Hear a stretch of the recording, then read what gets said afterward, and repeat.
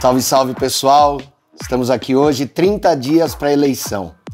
E eu vim aqui para mostrar para vocês e explicar para vocês o jargão doidão do bem vota em doidão do bem. É óbvio que é uma alusão ao cidadão de bem, aquilo que hoje a gente escuta até arrepia, dá medo.